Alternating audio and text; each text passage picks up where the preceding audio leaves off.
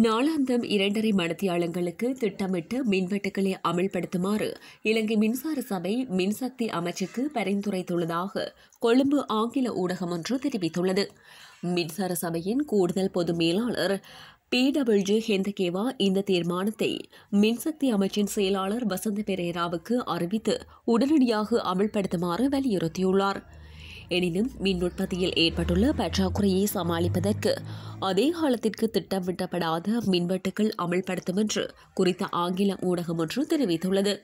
மின்சார சபையின் மூத்த அதிகாரி ஒருவரின் கூற்றுப்படி முற்பகல் பதினோரு மணி முதல் மாலை ஆறு மணி வரை ஒரு மணி நேர மின்வெட்டு மற்றும் ஆறு மணி முதல் இரவு ஒன்பது மணி வரை அதிக நேரம் இருக்கும்போது இரண்டு நாற்பத்தைந்து நிமிட நேர மின்வெட்டு அமல்படுத்தப்படும்.